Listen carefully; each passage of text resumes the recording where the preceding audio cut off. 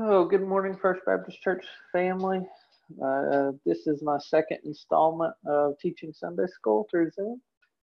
And today we're going to look at the life of uh, Leah and Rachel.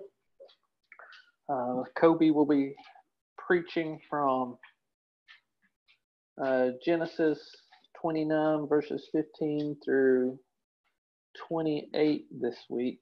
Um, but then our Sunday school text is going to be looking um, after uh, this text. We'll be looking more at what's happening in chapter chapter 30. But to give us some background, we'll start with uh, today's sermon text or title and entitled "And Then There Was Leah."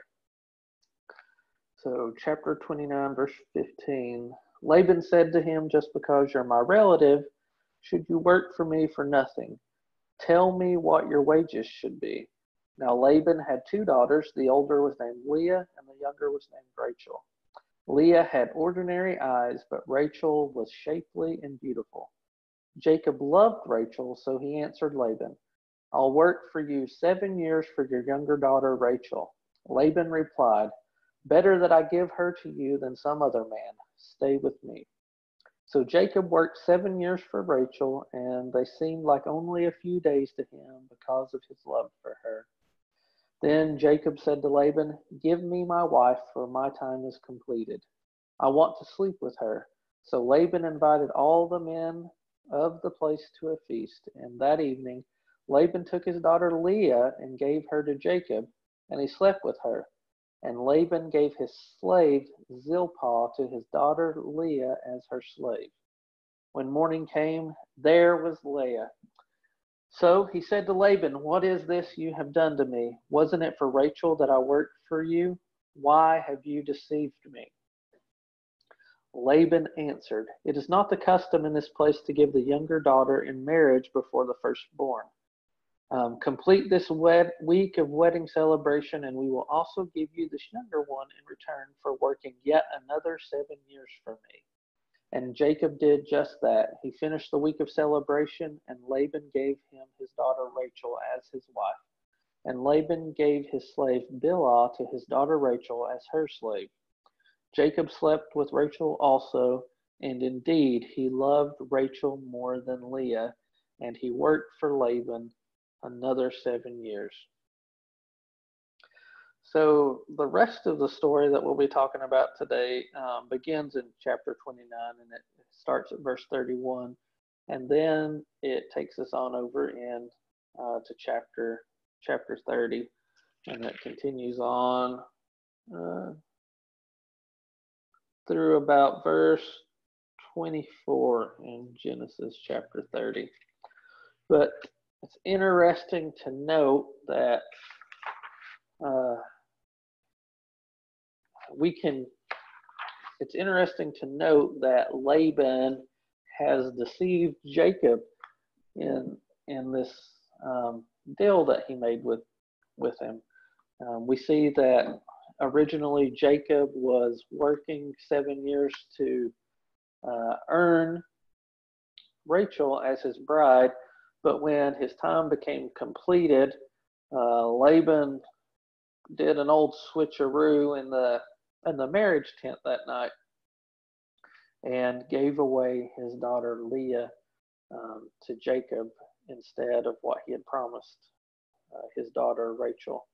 It's interesting to note that uh, earlier in this chapter that whenever Jacob meets Rachel, it was kind of that proverbial love at first sight.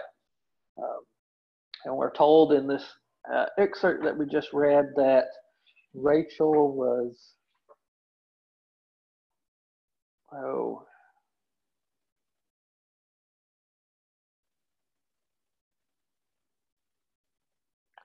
shapely and beautiful. And so um, we see that really uh, that he has a strong physical attraction to Rachel, and that's originally why he asked for her uh, in marriage. We see that uh, this uh, arrangement is uh, reminiscent of a provision in the law of Moses that permitted certain slaves to work seven years for their freedom. During this time, men did not really buy their wives, but rather they did customarily pay for a bride um, to their future wife's family to compensate them for the care and protection that they provided the woman prior to her marriage.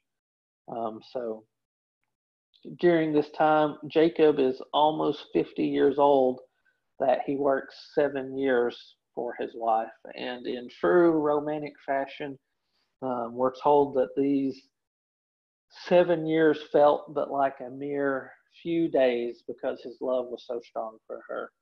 And uh, this this type of love can make any Hollywood romance novel um, uh, uh, jealous because this is the type of romance that uh, we all desire deep down inside, right?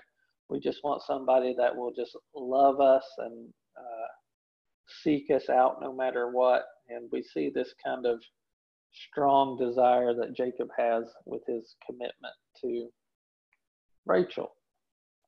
And so, um, what we'll see here after the text that I read to you, starting in verse 31, um, we see that Leah, what we're told that Leah was unloved by Jacob um, because he really loved Rachel.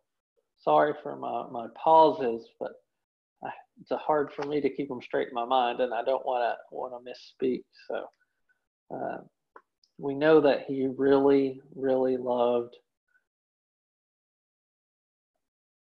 Rachel, but Leah just uh, by happenstance becomes his wife, and he has to still honor his marriage vows to her. Um, but what we see is eventually a deep sadness envelops Leah, and it really overshadows all that she she does. Um, she's unloved by Jacob, and everyone knows it. And sim- similarly, a deep sadness occurs month in and month out um, for Rachel. Um, we find out because she is barren, and that barrenness hovers over her life like a dark cloud.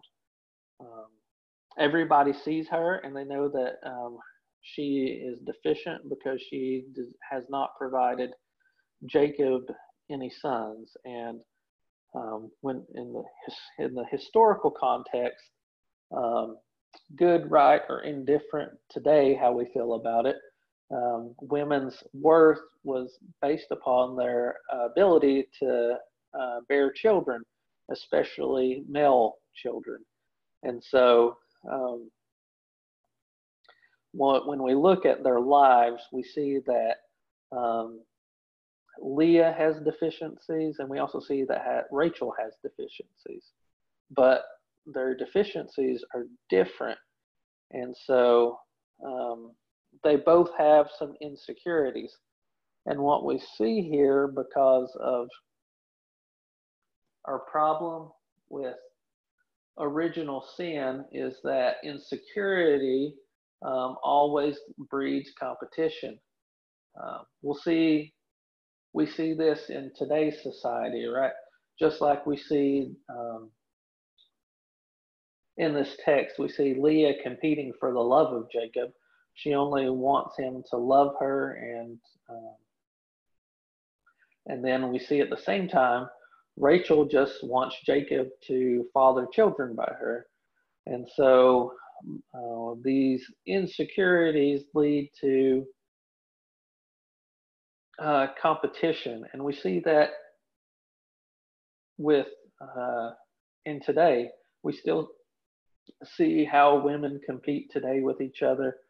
Um, we see uh, even men do this. Um, it's just not just not women. They compete with one another for value, accolades, prominence, love, and affection. Um, we see that with Leah, every baby that she has, she hopes that to experience Jacob's love. Um, she wants what Rachel has, right? And so the arrival of each of Leah's babies reminds Rachel of the one thing she lacks a fertile womb, and she wants what Leah has. Um, the, the study that, I, that I'm teaching from today calls this affection deficit disorder. Um, we see that each woman suffers with a sinful competitive spirit that, um, like I said, we can refer to as affection deficit disorder. Uh, Jacob's affection isn't quite enough while Rachel's womb remains empty. Leah has what Rachel wants the affection of sons. Um, so we see that a packed nursery doesn't replace the empty heart of Jacob's dutiful nightly visit into Leah's tents. Um, Rachel possesses what Leah wants, and Leah craves the affection given by loving husbands to loved wives. Um, we see that each woman lives with continual disappointment as she focuses on what the other has. A competitive spirit is born on the wings of insecurity, and women compensate for the thing they lack. Rather, insecurity um, by focusing on the one thing in which they excel Leah's womb and Rachel's beauty. Uh, it takes Jacob, the man on the run from God, even longer to come to the end of himself. Um, he has a beautiful wife, the clamor of other women for his attention, increasing family and wealth uh, are poor substitutes for what's missing in his life. He too has affection deficit disorder. Um, what we'll see here is that a number of truths uh, emerge from this story. And one of those truths is the dull ache of living outside of the Garden of Eden affects the hearts of both men and women. Competition with other women is a symptom of a spiritual problem. An obsession with gaining wealth is also a sign of a sim- or also a sign of a spiritual problem. Uh, we all, we also see in these these stories that uh, the awareness of deficiency reminds both men and women that no human relationship or work can fill the void inherited in the hearts of all when Adam and Eve ate of the forbidden fruit. Uh, another thing that we learn by reading these stories is outward beauty cannot erase sin in the heart.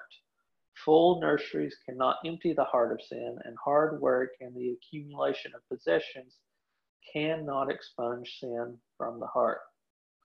Um, so each and every one of us is born with affection deficit disorder uh, some feel it more acutely than others. Um, women substitute personal beauty, the love and affection of husbands and children for the affection of Christ. Uh, we see this every time we turn on the TV, right? We see all these commercials for um, the latest beauty products that will make you look younger. Um, there's a whole industry of of beauty that makes this. We see uh, commercial after commercial that you need this to look pretty, um, or we see uh, plastic surgery commercials of, you know, we're here to make you the best version of you possible. And we have this whole uh, Instagram culture, if you will, um, or just uh, social media in general that um, gives us this belief of and tells us everything that we need to have to be happy, right? Um, if we have, uh, I can't even begin to name off things that are advertised, but if you look a certain way and you have this many followers and uh, you wear this brand of clothes, then you are successful and you and you fit in and you have found um, success. Uh, and for men, we'll see that they substitute beautiful women and personal kingdom building for a relationship with Christ. And so, um, not it's not always all men. Women can be guilty of this as well, but um, we want to, as men, accumulate as much stuff as we can. And there's this whole culture of, um, I'm sure many of you heard this term, uh, trophy wife. And so, uh, if a man has a trophy wife and he has a big house and a boat and a lot of disposable income and a lot of money, then he feels like he is successful. But um, what we really learned here is kind of what Leah learns when she has this epiphany when her fourth son Judah is born. She says in uh, chapter 29, verse 35, that this time I will praise the Lord. Uh, and so she discovers that neither husband or sons, but only the Lord can give her what she longs for. And this is kind of the same thing that's echoed in the New Testament when Paul writes in uh, Philippians chapter 2, verse 1, he writes, Therefore, if there is any consolation in Christ, if any comfort of love, if any fellowship of the Spirit, if any affection and mercy, we see that only the Spirit can fill the craving of the heart of those that belong to Christ with the affection of Christ, because ultimately that is what the soul longs for. I know many times, in, or there's been times in my personal life that I, I definitely know this to be true, is that we're we've been searching for something that we've either thought that we've missed out on or uh, something that I needed to have um, or something that I needed to buy or purchase to satisfy a longing in my soul. Or there was something that um, I needed to do, a group of friends that I needed. Um, for at, at one point, I know I've shared with you that like you know I was hanging out with a party crowd before I before I uh, came back to Christ, and so um, a lot of times we do a bunch of stuff just to try to fill this void that we really don't know what that void is, and we see this here in the story in the life of Leah and Rachel. Leah has this void because her husband doesn't love her. And unfortunately, we see this uh, pandemic, epidemic, I'm not sure the right word to use there, but we see it in the family now, right? Um, we see people that don't take their marriage vows seriously because um, we see it now more as a business contract is that, well, I'll marry you as long as I'm getting something out of this until something better comes along. And we see the divorce rate, you know, well over 50% now.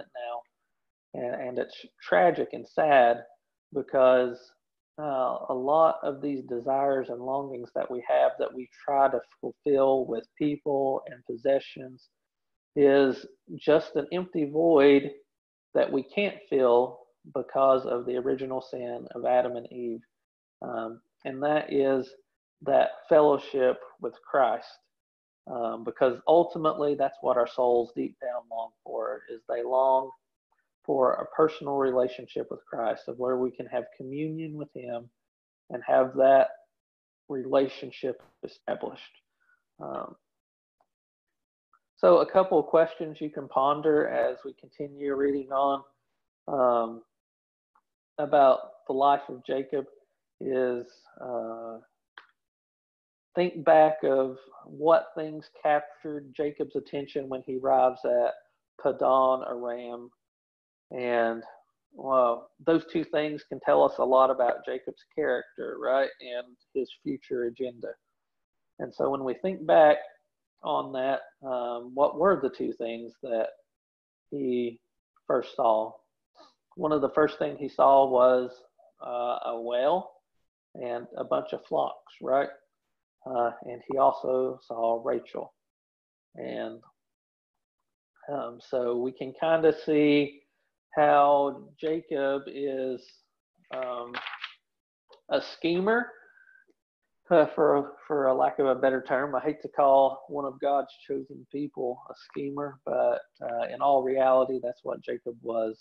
and we can kind of see how the wheels start turning. Um, and then later on, I think next week maybe we'll talk about how uh, about how uh, Jacob begins kind of tricks Laban into uh, growing his wealth personally for Laban and for himself, and see how uh, that turns out for for Jacob. So um, it's my hope that uh, today we've been able to shed a little light through uh, the life of Leah and Rachel about how we ourselves have uh, an affection deficit disorder of how we try to plug in affection for possessions and relationships um, instead of uh, the true affection of Christ that our soul longs for. Uh, the only thing that will truly satisfy us is um, our relationship with Christ. So let's pray uh, and we'll complete our lesson today. Dear God, may we ever be mindful that what you desire the most from us is um, a relationship with us, God, of where we walk with you daily and we commune with you um, in a personal way, God. Uh, you have created us to be in fellowship with you, God, and I pray, Lord, that we would seek you. Um, we're told that if you, we seek you, that we will find you, God. I pray, Lord, during these trying times that you would give us wisdom and discernment on how best to um, congregate together, God. And I pray, Lord, that you would keep us safe and um, be with those that who are affected by by this pandemic, God. That um, if their health is impacted, that you would be with them, and if they are impacted other ways, God, I pray, Lord, that um, this community uh, would show up for them and show them what it means to be uh, in a family of believers, God. Just go with us and guide us and protect us and help us to be um, a light, the light on the hill for you, God. It is in your Son's holy name that we pray. Amen.